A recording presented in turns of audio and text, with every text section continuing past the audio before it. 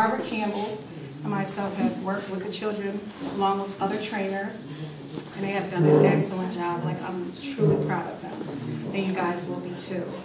Okay, so I want to introduce Miss Barbara Campbell for Who Am I?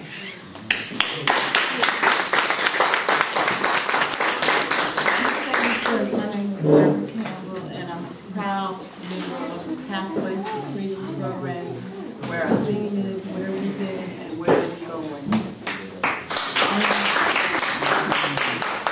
I associated with the Institute since 1996, when my 11-year-old son participated in Pathways to Freedom. He is now 32 years old. And uh, the program had impacted him so greatly terms of making him a gentleman and man that he is. And I can tell you, with the participation that these young folks have had, uh, certainly it will impact them.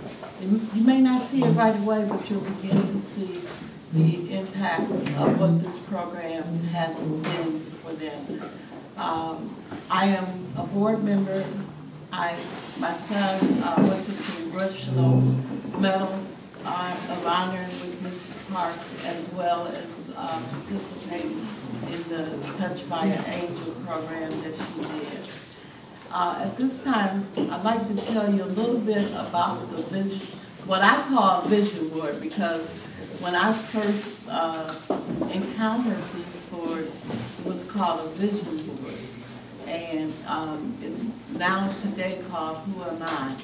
Uh, it tells you a little bit about the experiences that the young people are interested in, uh, who they want to be, um, and it identifies some uh, uh, pictures and thoughts about um, their experiences and their learning and their ability. And so without further ado, I'd like to bring up Terrell.